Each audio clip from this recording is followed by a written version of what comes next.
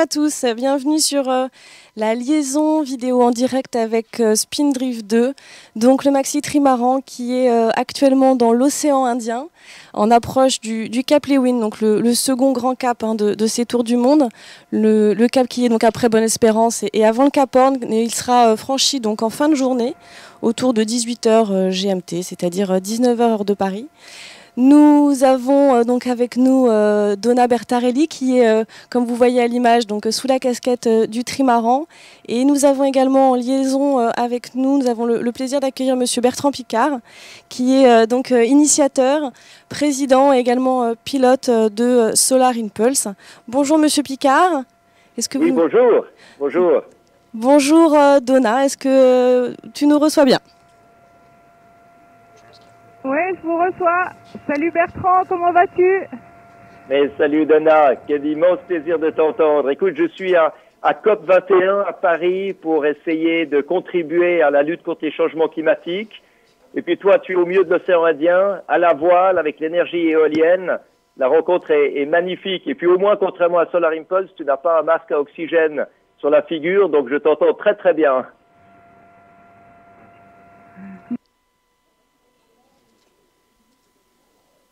Et que j'espère que tu auras de bonnes nouvelles à nous annoncer à la fin de cette COP 21 et qu'on aura finalement des résolutions d'énergie verte. Ça serait, euh, ça serait super. Mais écoute, ici, c'est vrai qu'il y a un très grand enthousiasme au niveau du monde politique, au niveau du monde industriel, au niveau de tous ceux qui devraient changer quelque chose à la société, mais ce qu'il faut aussi, c'est que les négociateurs ne restent pas bloqués sur leur position. Il faut que les négociateurs acceptent de faire un certain nombre de concessions aussi et de ne pas vouloir tout tirer à eux. Donc il y a, c'est aussi un peu une recherche de record ici, hein, un record qui se passerait le mieux possible. Mais dis-moi, comment ça se passe chez toi? J'ai des images magnifiques devant les yeux. Écoute, euh, ça se passe bien, on, on, avance pas très vite, on bute euh, sur une dorsale donc euh, qui se se déplace pas très très vite. Donc euh, voilà, on la rattrape, on ralentit, après on, repart, mais voilà, ça devrait euh, dans quelques jours, ça devrait aller mieux et ensuite les portes ouvertes du Pacifique devraient être devant nous avec une météo relativement bonne. Mais là, pour le moment, c'est vrai que c'est un petit peu frustrant pour l'équipage parce que parce qu'on avance tout de même à 32 nœuds à l'instant mais c'est pas beaucoup pour ce bateau, donc euh, voilà, c'est un petit peu frustrant. Mais c'est déjà incroyable, 32 nœuds. Hein. Tu, es, tu es à plus de 50 km à l'heure de, de, moyenne. On voit que ces nouvelles technologies de, dans la voile, ces nouveaux matériaux permettent des choses absolument incroyables. Mais, mais c'est clair que pour toi, euh, c'est en permanence une gestion de course. Hein. Pour battre un record aussi incroyable que celui-là, il faut pas simplement aller plus vite que le bateau qui est à côté, il faut aller le plus vite de ce que tu peux. C'est vraiment impressionnant hein, pour ceux qui, te suivent. Mais en fait, je ne sais pas si toi tu, pilotes ton avion de la même manière, mais nous, on peut pas. Le but, 45 jours, c'est long. Comme toi, un tour du monde, ça va être long. Et donc, on peut pas pousser la machine à 100% tout le temps.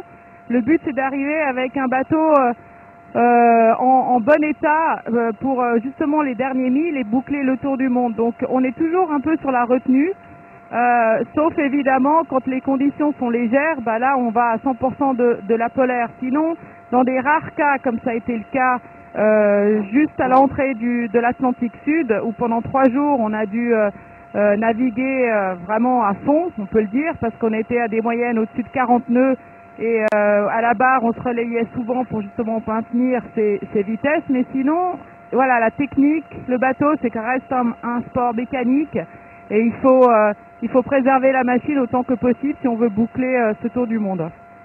Et puis je pense qu'il faut préserver l'équipage aussi. Comment est-ce que tu gères le côté sommeil, le côté repos? Ça doit être un gros défi sur une durée aussi longue. Hein. Nous, on n'a pas des vols aussi longs que ça. Comment tu fais sur 45 jours ou 40 jours? Alors, on, travaille par des quarts. Euh, en gros, euh, on dort 3 heures, on travaille pendant 5 heures et on redort pendant 3 heures de temps. Un petit peu plus compliqué que ça parce qu'on a des stand-by dans ces 5 heures de travail, mais en gros, c'est ça. Euh, et c'est vrai que la fatigue, il faut aussi savoir la gérer quand les conditions sont un petit peu plus clémentes. Euh, l'équipage peut se reposer un petit peu mieux, mais en tout cas pas plus. On reste bloqué dans ces quarts et ces heures de sommeil qui sont euh, prédéfinies à, à l'avance. Euh, maintenant, je sais que toi, tu utilises l'auto-hypnose.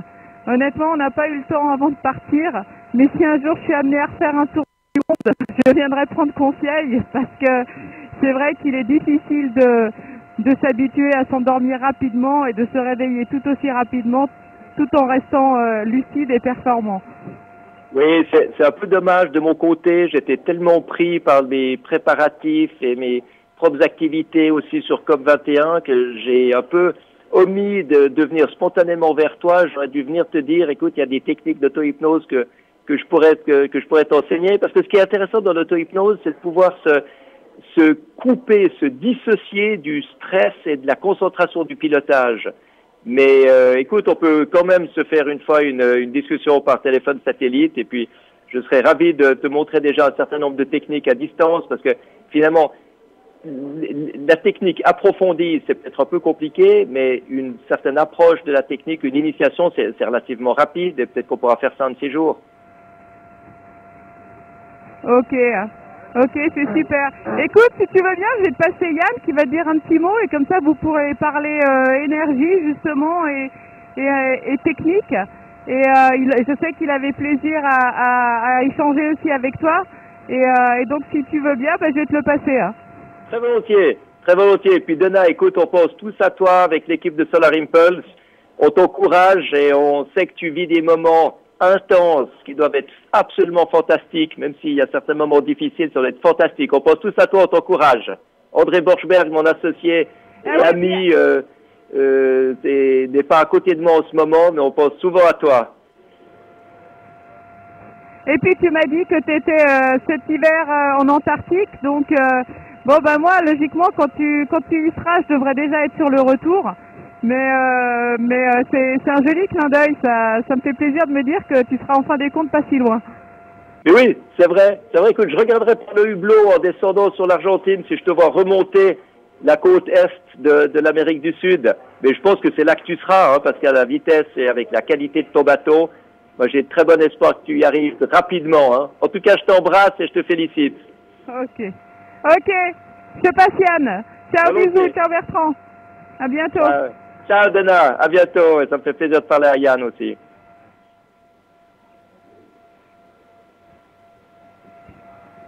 Allô, allô? Allô Yann? Ouais, salut Bertrand. Et salut, comment vas-tu? Ça fait plaisir de t'entendre, écoute. Raconte-moi un petit peu tes, tes impressions ouais. et tes émotions.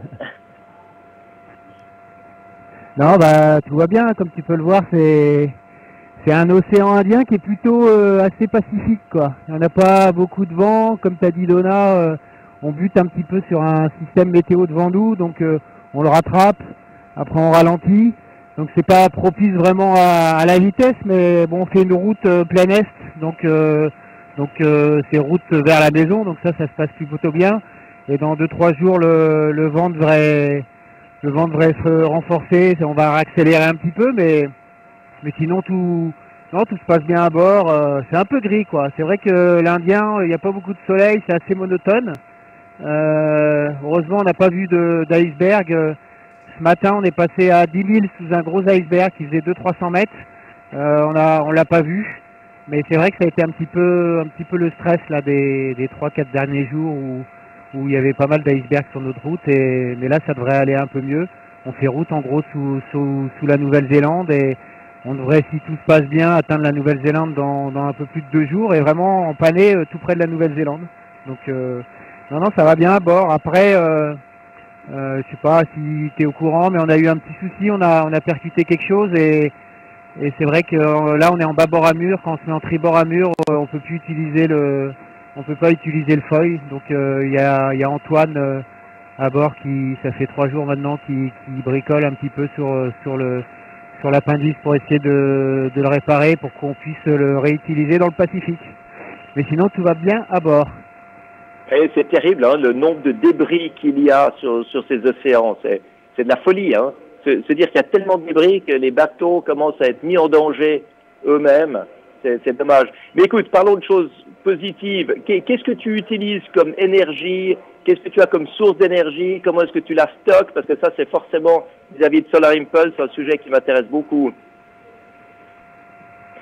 Ouais, alors c'est vrai que nous, on, a des batteries au lithium et on a deux, deux sources d'énergie possibles à bord. On en avait travaillé sur une troisième qui était l'hydrogénérateur, donc une petite turbine euh, qui était sous le bateau, mais on n'a pas réussi à la mettre euh, complètement au point avant le départ, donc ce sera ce sera pour les, prochaines aventures. Sinon, euh, juste à l'arrière, en ce moment, on l'a enlevé, mais on met une éolienne, donc euh, qui, qui, nous produit. On consomme un petit peu à bord, en moyenne, on consomme 10 à 12 ampères heure. Et l'éolienne, quand ça marche bien, qu'on a un apparent euh, d'une trentaine de nœuds d'apparent, on arrive à, à débiter 7 à 8 ampères, donc c'est assez, c'est assez efficace.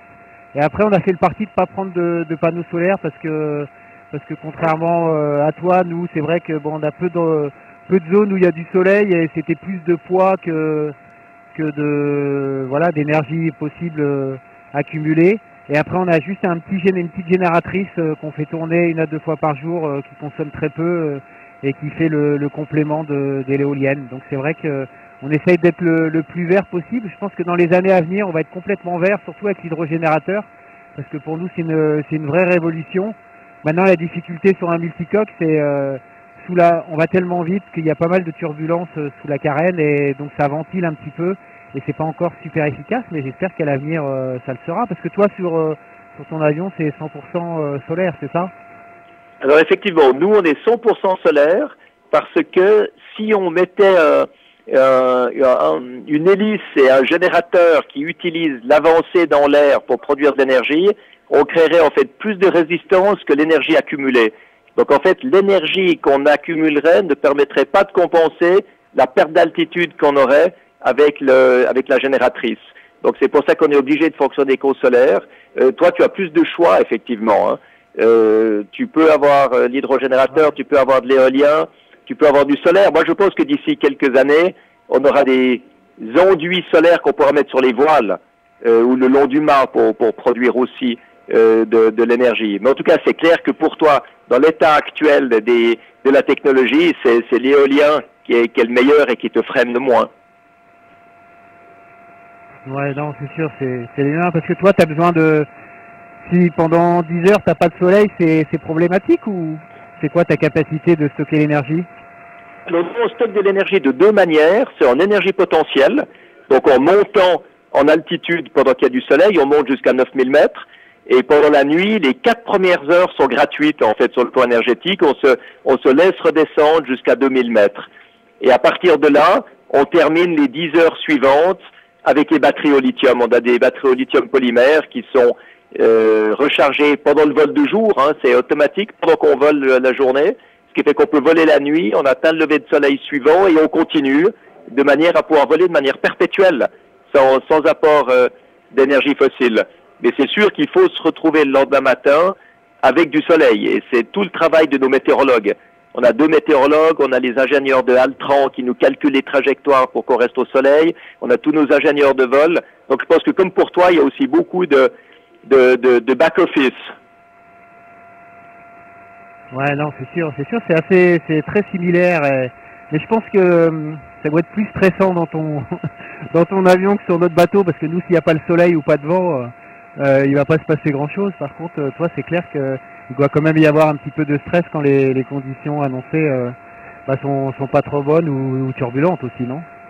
Alors c'est vrai que c'est extrêmement stressant parce que si on n'a plus d'énergie et qu'on est au-dessus d'un océan, on n'a plus qu'une chose à faire, c'est à s'éjecter parce que c'est un avion qui est complètement électrique, ce qui fait qu'on considère que si on amérit, même avec euh, un reste d'énergie statique dans l'avion, on risque d'être électrocuté. Donc il faut sauter en parachute avec le canot de sauvetage. Donc c'est vrai que le moment où on n'a plus d'énergie, c'est le moment qu'on redoute le plus avec André, c'est le, cauchemar. Mais jusqu'à maintenant, quand André a traversé du, Japon à Hawaï, c'était 5 jours et 5 nuits de vol, il restait tous les matins entre 10 et 15% 10 et 12% d'énergie en moyenne. Donc euh, ça permettait vraiment d'atteindre le lever de soleil suivant et, et de continuer. Ouais, c'était juste, euh, juste limite quoi. Et la prochaine aventure après le Pacifique, c'est quoi alors? Alors, à partir d'avril prochain, on se remet en route pour le vol de Hawaï jusqu'à la côte ouest américaine, et puis ensuite traverser des États-Unis, ensuite l'Atlantique. Alors, je rêve évidemment de piloter Solar Impulse de New York au Bourget, ce serait absolument fantastique. Et puis ensuite le retour sur Abu Dhabi. Ah, génial.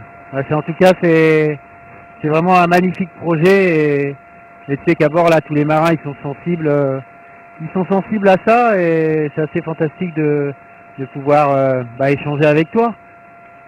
Écoute, ça me fait extrêmement plaisir je sais tout ce qu'il y a comme travail d'équipe dans un projet comme ça, donc euh, va faire une grosse accolade amicale à chacun des membres de ton équipe, de ma part, de celle de, l'équipe de Solar Impulse, d'Audrey Borchberg, euh, parce que c'est vraiment un travail fantastique. Et les images qu'on voit, pendant que je suis en train de te parler, il y a des images sur votre site Internet qui sont extraordinaires, extraordinaires. Ben là, on te voit lever le bras. Non, c'est Donna, là. On voit de loin qui, qui lève le bras, mais c'est des images qui sont prises de, de, de l'extérieur. Hein. Et on voit le bateau sur un foil qui avance. C'est juste magnifique, c'est splendide. Et puis la qualité du son, alors quand on se parle, est excellente. Hein. Comme je disais à Donna tout à l'heure, il n'y a pas de masque à oxygène comme dans Solar Impulse qui, qui altère la qualité de la voix. Là, c'est vraiment parfait, c'est formidable. Je, je vais devoir... C'est top, c'est top. Euh, vous, vous interrompre euh, juste un petit peu. Je, on était, c'était vraiment euh, une liaison passionnante. Je, on est arrivé au terme de ce, de ce direct. Je voulais euh, ben, vous remercier à tous les deux et à Donna également et à tout l'équipage d'avoir pris le temps de, de, partager tout ça avec, avec le public qui nous suit. On, on, on va donc vous laisser dans l'océan Indien. Yann, on sait que vous êtes en approche de ce, de ce Cap Lewin hein, qui, est, qui est donc programmé pour ce soir. Et dans deux jours, ça sera l'entrée dans, dans le Pacifique. Euh, qui est donc sous la Tasmanie. C'est l'entrée, on va dire, officielle vers un désert maritime qu'on sait, euh, sait immense, avec le Cap Horn euh, en sortie évidemment et en délivrant généralement pour les marins. Monsieur Picard, merci beaucoup d'être avec nous. On, vous laisse, on suit également vos, aventures. On sait que vous allez repartir donc au printemps pour boucler effectivement ce fabuleux, projet. Et, on souhaite aussi une bonne fin de, COP 21 évidemment, évidemment à tout le monde. Merci à tous. Euh, et, donc rendez-vous la semaine prochaine, même jour, même heure, pour euh, donc cette fois-ci euh, un direct dans le Pacifique. Merci à, tout l'équipage de Spindrift 2 et à très vite et restez connectés sur le site internet, les réseaux sociaux pour suivre l'aventure. Merci, beaucoup. Merci à tous. Salut Bertrand. Salut tout le monde. Un plaisir. Je vous embrasse. Bonne chance, bon courage et avancez vite et laissez rêver. C'est magnifique. À bientôt. Bye bye.